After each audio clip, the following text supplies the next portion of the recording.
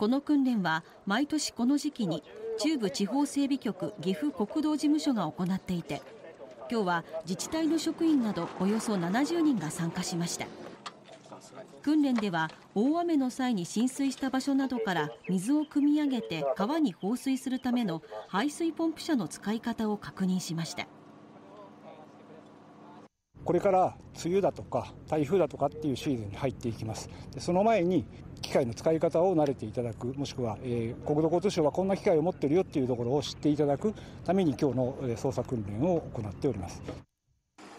また夜間の作業の際に使用する照明車のアームを実際に操作する訓練も行われました。